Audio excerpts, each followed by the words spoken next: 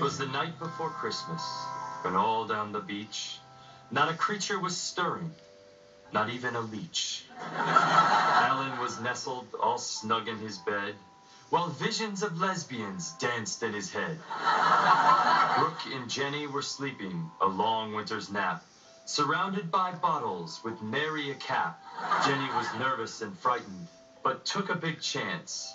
She let Brooke in her heart as well as her pants. While Berta in her vest and I in my hattie had just baked our brains out with a big Christmas fatty. We started to doze, we hadn't a care.